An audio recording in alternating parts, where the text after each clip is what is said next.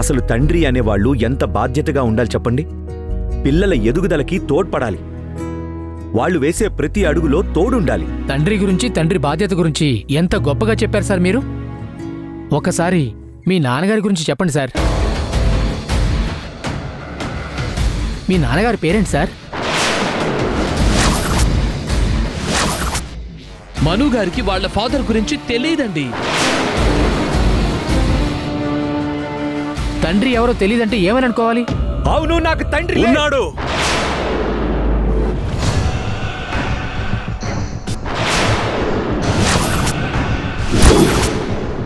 మనుకి తండ్రి ఉన్నాడు. ఎవరో కాదు నేనే.